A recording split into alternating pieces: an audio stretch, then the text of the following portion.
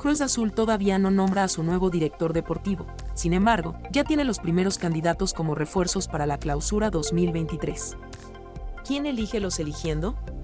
Han transcurrido dos semanas y cinco días desde que Cruz Azul terminó su participación en la apertura de 2022 de la Liga MX, después de ser eliminado en los cuartos de final por Monterrey. Sin embargo, dentro de las dos decisiones de Noria que dos decisiones serán clave para el nuevo proyecto deportivo y, en una reestructuración total para clausura 2023, el equipo de cemento aún no hace el anuncio oficial de que Raúl Gutiérrez permanecerá como director técnico de la máquina y, el más trascendental porque debería ser una pieza clave en el ensamblaje del escuadrón y es quien será el nuevo director deportivo, ya que ha sucedido que Carlos López de Silanes no continuará en el cargo.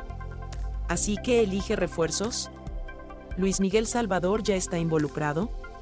La realidad es que detrás hay un equipo de inteligencia deportivo completo que, durante todo el semestre, es responsable de analizar una gran cantidad de jugadores, por lo que, después de conocer las necesidades específicas que tiene en el club para reforzar, propone a sus mejores candidatos. Sin embargo, es Raúl Gutiérrez quien debe pasar los fichajes.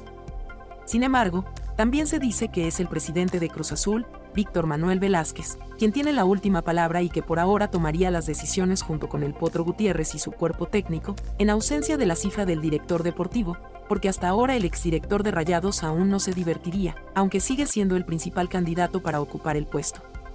Cerca del primer refuerzo así, por ejemplo, el primer refuerzo de la máquina para clausura 2023 ya se habría dirigido, porque a petición del Potro Gutiérrez y con la aprobación de Mandamás Emero, Ramiro Carrera llegaría a la Noria la próxima semana, solo por ser de el comienzo de la pretemporada.